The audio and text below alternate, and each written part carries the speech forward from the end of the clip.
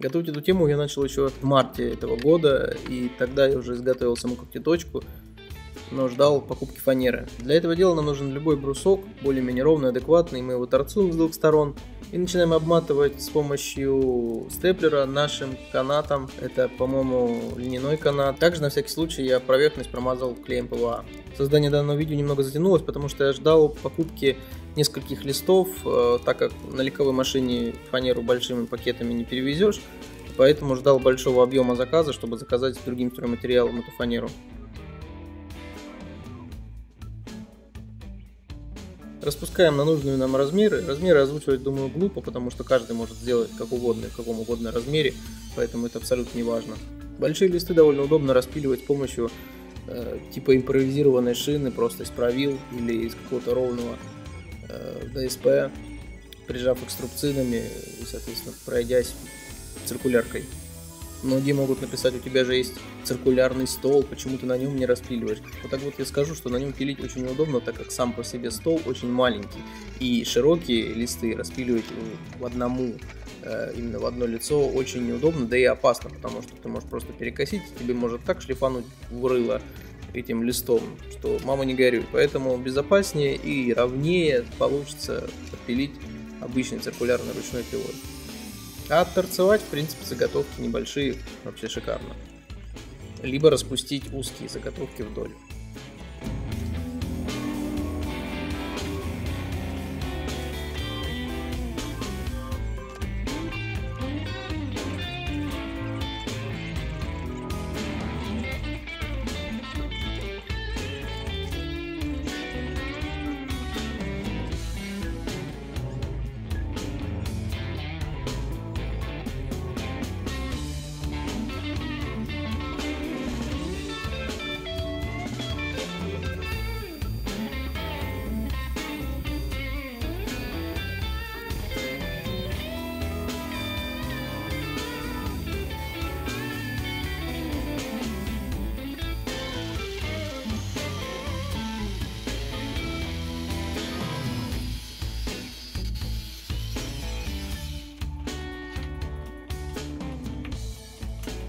Далее в дело вступает шпилечник, и мы собираем нашу коробку на шпильке, а потом усиливаем конструкцию небольшими обрезками внутри, как раз вот то, что я торцевал, э, получились небольшие штапики по сантиметру шириной, и я их вовнутрь в каждое ребро добавил, тем самым усилив конструкцию.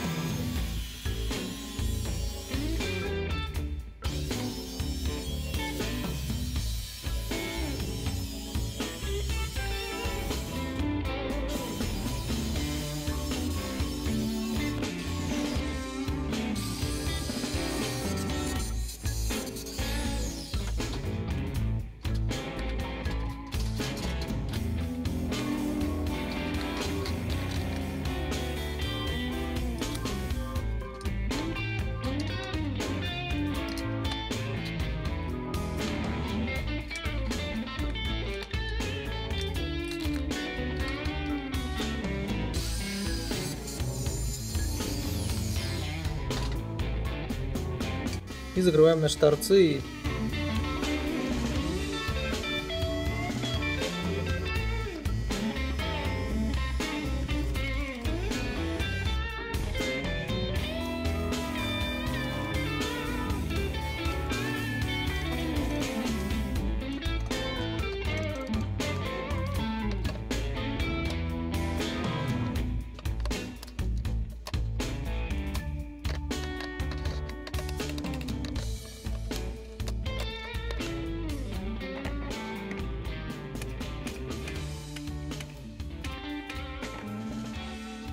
и начинаем вырезать уже непосредственно лаз для кошек. Я решил также сделать просто рандомно два лаза. Один как бы главный вход, второй сверху, чтобы кошка могла вылезти сверху чуть поменьше.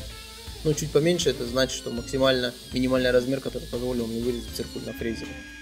А так вообще тема циркуля на фрезере вообще крутая. То есть можно э, ты просверливаешь отверстие и начинаешь шуровать. Классная тема.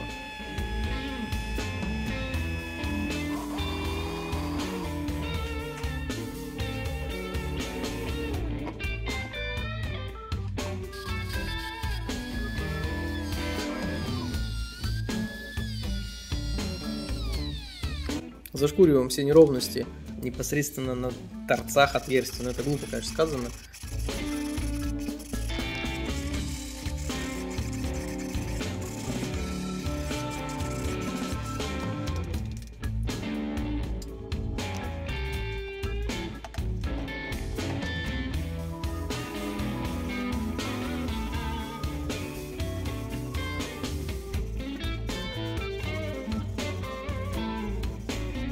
Далее в дело вступает копировальная фреза с подшипником. Я решил пройти, чтобы убрать э, небольшие неровности по краям.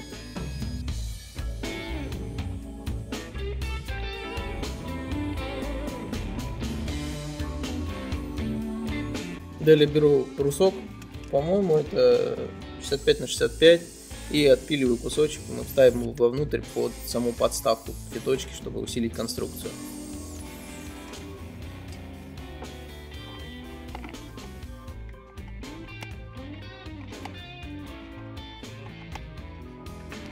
И зашкуриваем, полностью все зашкуриваем. Я не стал сильно заморачиваться именно с э, идеальным зашкуриванием, потому что в дальнейшем я, скорее всего, обошью ее полностью ковролином. В данном видео я не хотел обшивать ковролином, э, так как не нашел достойного в том же Леруа или где-то подобном, по цвету именно и по фактуре.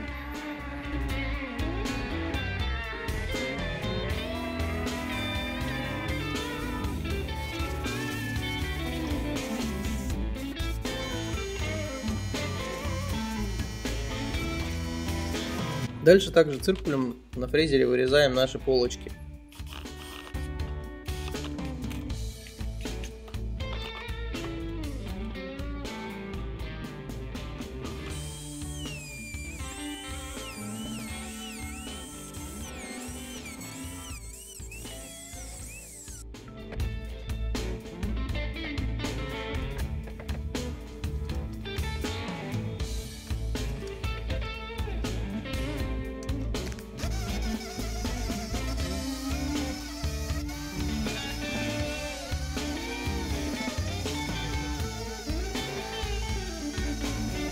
И пришло время собрать всю конструкцию. Саму когтеточку я решил прикрутить просто обыкновенными 80-ми саморезами э, по диагонали. Поэтому держаться она будет очень достойно и держится до сих пор. Кошки там втроем висели на этой подставке и все замечательно.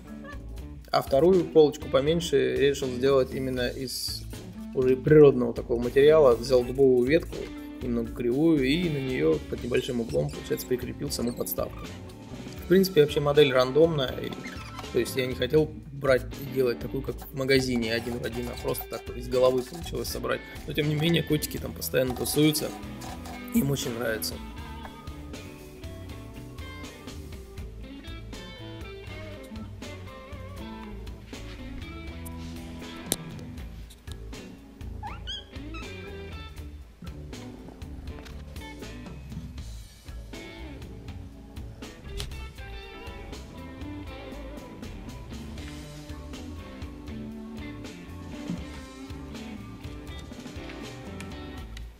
Мне всегда приятно, что вы меня смотрите. Вот здесь сейчас будет два стареньких видео. Поставьте им тоже лайк, прокомментируйте. Вот также здесь подписывайтесь на канал, будет логотипчик. Счастливо, ребят!